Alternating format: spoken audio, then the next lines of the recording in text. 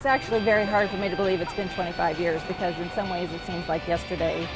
Uh, and it's hard for me to believe that the students who helped start that have been out of school for as long as they've been out. We used to go to a lot of conventions, the Student Alumni Council convention, and uh, I think that's, in my memory, that's kind of where it was picked up and originally came from Clemson University. They used to do that with the Paw Prints leading up to their football stadium. But we thought that would just be a great, uh, great idea to bring back to our school and uh, you know just just kind of use the, the, school spirit theme and that was something that we did a lot as student alumni council. The cool thing i think in recognizing the 25th year is that an idea that students pick up and want to implement is allowed to be implemented. And so they had the creative freedom and the support to do that.